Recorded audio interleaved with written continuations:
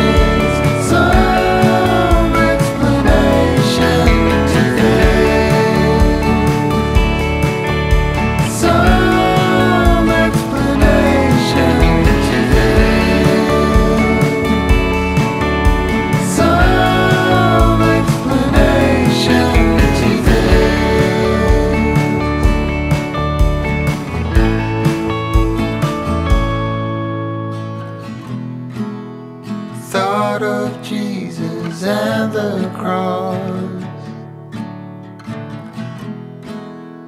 The shadow from a window pane.